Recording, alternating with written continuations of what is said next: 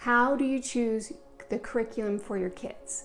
I get this question so many times. So today's video, we're gonna go over how do you pick curriculum in homeschool for your kids. So we're gonna go over five steps that I've identified that would be very helpful for you in picking a curriculum, and then we're going to talk about the different types of curriculum. The steps I'm to give you apply to all ages, but there might be a couple of little extra things when they get a little bit older, and I will talk about that later.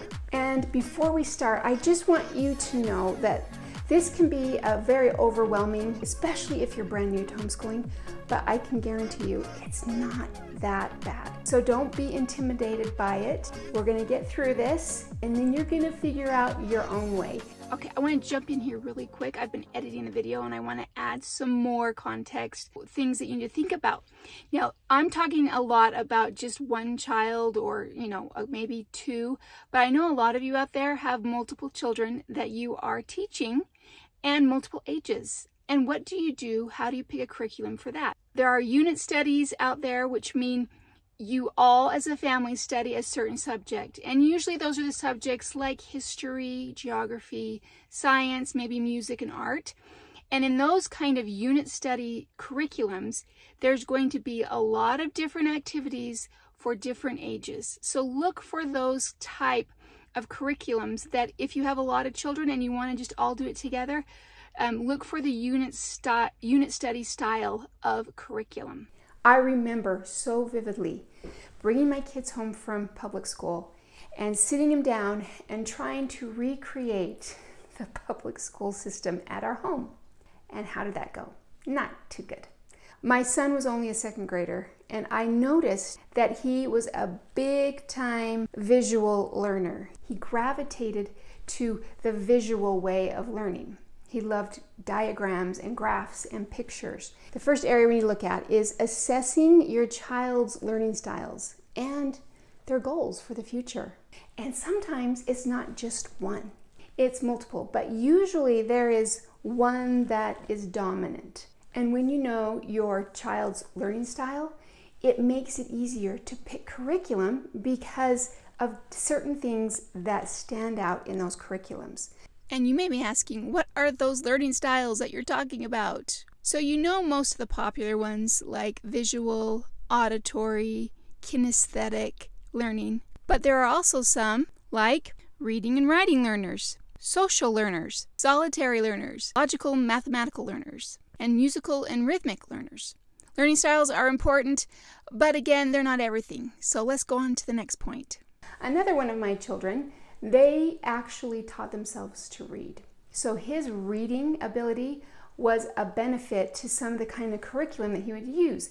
He loved to read, he loved to write, he was very good at both of them. And so that kind of curriculum that had that was very beneficial for him, or at least he enjoyed and wasn't totally turned off by. Looking at the strengths and the weaknesses for your kids is not something that is that big of a deal, but it does come into play when you're looking at the whole of the curriculum. So, in the example of my son being able to be a really good reader at a very young age, he was able to go in that direction to be more independent learner. But if I had another child that wasn't as good of a reader, I think I would maybe choose something different. I would choose something that had more visual and not just a whole bunch of reading and writing. Even if your children have weaknesses, it's not that we're going to avoid their weaknesses and just play to their strengths. No, we need that education to help bolster their weaknesses. Remember that in picking curriculum, there's a lot of variables to it. Maybe there's two that you're choosing from, and one of them would be a little bit more um, desirable from your, your children. So that's why you're like, mm, I think I'm gonna go with this one. So what curriculums would be helpful for the different styles of learning? Well, if you have somebody that's a very visual learner, I would make sure your curriculum has lots of pictures or graphs or things that they with the eye can understand rather than just hearing it or learning it. Now, if they learn by the auditory ways, they love to listen to books. They love to listen to people speak and they love to listen to maybe possibly music. So those kinds of things for auditory learners would be very, very helpful. Now let's talk about kinesthetic. Kinesthetic is just, they love to be involved. They learn by doing. If they're learning about Pharaoh, how to make a paper mache mummy, things like that. Now there are a lot of curriculums out there and I'm going to use Story of the World as an example, as a history curriculum that uses a whole bunch of different types of learning kinesthetic, auditory, and visual, plus probably more. Now that's just an example of one type of curriculum that can satisfy a lot of different learning styles if you're teaching a lot of kids. Along with this, it's also good to talk with your kids and kind of see what their future goals are for themselves. My daughter, she loved to sew, and I don't sew. I found classes for her to take sewing. And when she went to college, she actually went into that field of designing clothing. That's why it's really important to focus on their goals and what they want. Now, this may not apply to elementary school children. This is more for kind of more high school age kids and even middle school. Now, don't get me wrong, your younger kids can make goals and make plans for the future too. You're, they're never too young to start talking about who they want to be and what they want to do in life. Now, the second area we want to look at, and this is kind of what you've been looking for, right, is researching the different curriculum options. So, that first part of thinking about your kids, now we're down to the second part of the curriculum. This is your time to start to research the different options that are out there. The good news is there are so many options, but the bad news is there are so many options. now, when I first started, there weren't as many options as there are now. It was just a little bit easier to pick the, the curriculum because there weren't so many different options. But nowadays, there are so many different types. And out there for homeschool moms, it is amazing. It, it's just a huge, huge benefit to be homeschooling nowadays. Now, you need to be looking for the different specific types for your kids. So let's say that you're looking for a high school science curriculum. Make sure that it's for high school students. Don't be giving a sixth grader a high school curriculum for science. Now, the thing is if you're trying to decide where your child fits in a curriculum, what grade they're in, and you're not really sure, a lot of curriculums will have placement tests and your kids can take that will determine where they need to start in whatever grade or level of the curriculum. And the people that own the curriculum are very helpful in knowing where to start your children. So just, you know, ask questions, especially of the curriculum that you're buying. And then another thing eh, when you're looking at curriculum and you're researching it is make sure you read a lot of testimonials about it. Read what other people think their experiences. Now, a lot of times you're going to find a pattern in these testimonials, you know, like, I loved it, but my kids got bored really easy. So I would always make sure that you can find people that have reviewed them and look for them. Like if there's a certain curriculum, look for that brand and then reviews like on Google. Now, I like to check out anybody that's on, you know, YouTube or has a blog that reviews things because I like to see inside the curriculum. I like to see how it's set up. Now, also, if you know people that have used it, then ask them what they liked about it and what they disliked about it. Those two questions are really important. I don't know if you know who Cathy Duffy is, but she has a great website that she does a lot of reviews of curriculum. She's had this website for a long time because I've used it many, many times, many, many years ago. Even with this great website from Cathy Duffy, you still should do your research and do your homework. And I think that part is sometimes the hardest you are the one that is going to have to choose about what kind of curriculum that you need. And your children are different than my children. And your needs as a homeschool mom are different than my needs as a homeschool mom. And so we have to figure that out. That's why it can be a little intimidating and a little tough at first because you don't exactly know where or how to start this whole thing about homeschooling curriculum. Now, the third area that is really more important for teens in the high school years is the accreditation of these curriculums. This is the third area we want to look at. So many people are worried about the curriculums being accredited, meaning that they fulfill credits in the public school system or for college. And you really don't have to worry about this until the high school years if that's the road you're going down. And I just have a couple of online accredited high school schools that I looked up. And some of these I had known of, but a lot of them I didn't know. So there's so many options out there. Let me just name a few Stanford Online High School.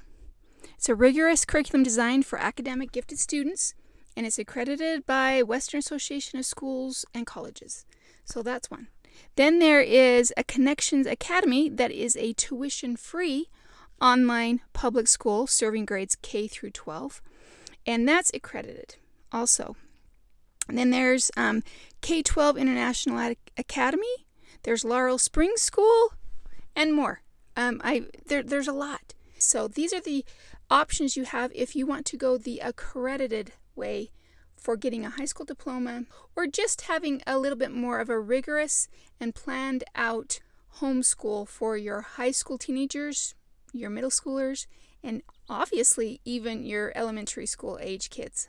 A lot of people in homeschooling, they do high school work, but they really don't need a high school diploma because you don't really need one to get into college nowadays. Yes, you need a transcript to show colleges of what the things that you've done and what kind of grades you've gotten to see if you can do college work. My kids that have gone on to college never had a high school diploma. Now, they went down the road of getting a GED, which that was what I chose back then. And now my kids, I really don't require them to get a GED, at least my younger ones. My older ones are probably pretty mad about that. But I don't think they need it because some of the colleges that uh, my kids get into, they don't really need either a high school diploma or a GED. They just want a transcript of all the things that they've done in that last four years, ninth grade to 12th grade and that's kind of all that they need. The accreditation for the younger schools is not necessary. If you are interested in it for high school, that is something that you need to be aware of when picking the curriculum. Let me say a little bit more about accreditation. If you're, you or your teen really wants to get into a big school that's a little bit harder to get into, then I would definitely go down the road of some type of accredited high school program meaning an online high school program or a, a, community college kind of program. That way, it's a little bit easier to get into these bigger colleges as there's so much competition. And it's a little easier on you, mom and dad, and the student will make sure that they're ready and prepared for college work. Now, if your child wants to go to college, but you're not really wanting one of the big colleges, maybe a smaller community college at first, you know, you could be a lot more flexible with your curriculum choices because you don't need to worry about some of the accreditation and the different things that colleges, big colleges, want. And one more thing about colleges is if you have a favorite college that's like a family tradition that all of your kids have gone to or you have gone to in the family, start early communicating with that university or college Ask them what does it take to get a, a homeschool student into that college? What do they need to do? When do they need to be doing it? Those kinds of things will make your life so much easier as you navigate the high school years. When I was homeschooling some of my older kids, it was so funny because everybody would say, Are they getting enough social? And I would stare into their eyes and I would say, Are you serious? Are you serious about that question? Because my teenagers had an overabundance of social activities. This is one of the next things I want you to think about in picking a curriculum for your kids. How does it go along with the pace that your children will go and the different extracurricular activities that they have? I said that right. You know, as they get older, they are going to want to do other things. And if they get involved in different homeschool co ops or different city events and sports, you got to make sure that the curriculum they're choosing will be able to work with them in the pace that they go. How is it adaptable to being an advanced student and sometimes a more remedial student? Take, for instance, science. Science, some students love. They just love it and they get it and they enjoy it and they're done. And then there's some that they don't get it and it's hard for them and they're not quite understanding how this, you know, kind of works. So sometimes picking a curriculum that has different levels of depth that you can go into is very helpful. Again, there are some kids that really like to go deep into subjects like say history. They really enjoy and get into history. But then there's some of them that just want the basics. You know, they just want to get through the, the curriculum, they just want to do the basics, and that's okay too. So remember when picking curriculum that it's adaptable to your kids and how fast or slow they want to do it, how deep or shallow they want to go. There are different types of curriculums that can do this, and then there are some that don't do it very well. This is something the new homeschoolers can overlook because they're not really familiar with how curriculums are made and they think that all curriculum is created equal. So if your kids like a lot of different options in how their curriculum is done and how the different assignments can be, you know, finished, look for that. Look for those kind of curriculums that have that. So what does a customized curriculum really look like? What are the different curriculums? Well, I do have to say this. Most curriculums that are customizable are kind of eclectic meaning the mom picks and chooses each subject a different curriculum. So you'll choose a curriculum for math, a different one for history, a different one for English literature, a different one for grammar, and it's kind of a mishmash of different things. That's the more customizable curriculums. The boxed, ready to go, that they have their own curriculum for everything. Um, these are like the big curriculum companies. They are not as customizable. I just wanted you to realize that because sometimes when you first start, you kind of start with the boxed curriculums, and that is totally good. That is what you probably should be doing if you are not very confident in what to choose. But as you get better and better as the years go on, then you start, can start to customize your curriculum for your kids so much more because you know what you want and what you don't want. And the fifth and final area that we need to think about is finding the curriculum that you want and then reviewing the materials as samples and having trial periods. You know, you can do trial periods with this curriculum. So you have to be very careful that when you find a curriculum, you have to go an extra step and make sure it really is what you want. Now, most curriculums out there, curriculum companies, they do offer like online that you can read a sample of this and that. Please do not buy it blindly. It's not very helpful. I have spent, I don't know, boatloads of money on curriculum. And a lot of it at the beginning of when I bought it was because I didn't know what I was doing. And it was kind of like a crutch. It was kind of like this crutch of, well, I don't know what I'm doing, and so I'm just going to buy all this curriculum. That's okay. It's okay to do that for the first little bit. Best case scenario is you find somebody that has it and you look at it. You go through it. You say, hey, can I take this book home with me? I'm just going to look at it and then I'll bring it back to you. I just don't want you to make the same mistake I have made multiple times of just buying curriculum without sampling it, without looking through it, without making sure it is something that my kids would really like. Another really great thing with this is get the feedback of your teenager. That's why it is really nice to get a hold of that curriculum without buying it and saying, hey, what do you think of this? Now, this really applies wholeheartedly to your teens. If your teens out of the gate hate the curriculum that you buy, you know, it's not going to work. You really need to get the feedback of your kids, especially your teens, when you're buying curriculum for them because a lot of times the curriculum for teens is quite expensive if you're buying it new.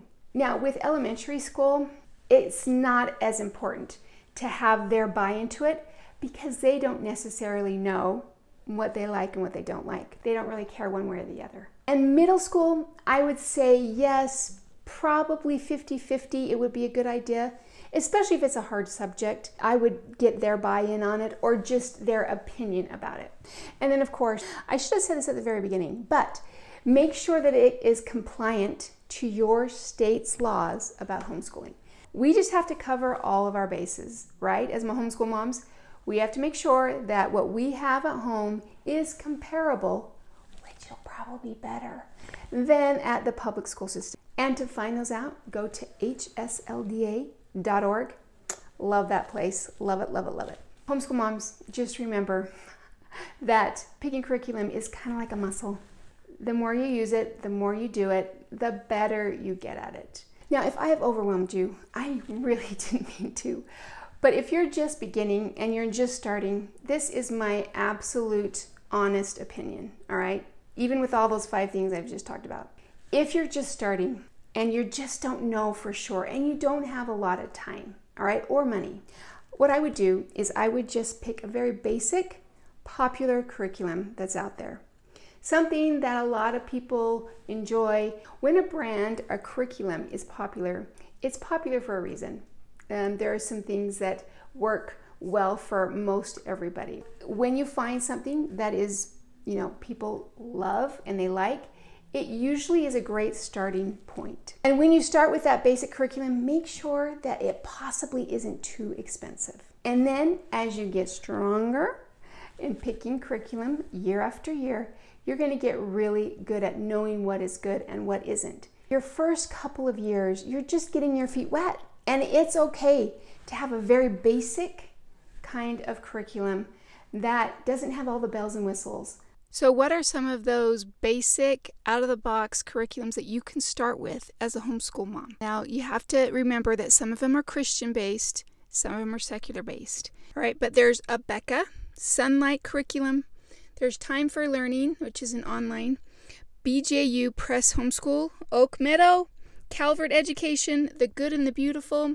These are all curriculums that are all inclusive, meaning they have all of the different subjects, and you buy the whole thing for a year, and that is all of your curriculum. Sometimes that is very desirable for homeschool moms, especially when they're just starting for the first time. There is one thing, eh, planning is very important of knowing what curriculums you need. And it's very helpful to know what kind of subjects do teenagers in the 9th to 12th grade years and how you plan for those four, four, years. Now, if you need that for the high school years, you need to watch this next video of mine. We'll see you on the next video. Toodles! So even with this great